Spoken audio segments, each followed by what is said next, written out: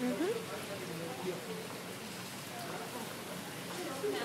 And the red goes next to it, huh? That's right. I need assistance. Yes. With the folded one that you did. Yes, yes. I've just folded. Why are you undoing all that good work? Just want to make sure that I'm doing it right and then...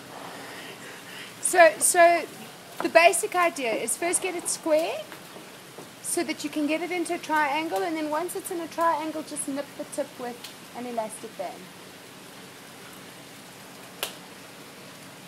Don't overthink it. Let's see. Oh, that's lovely. Oops.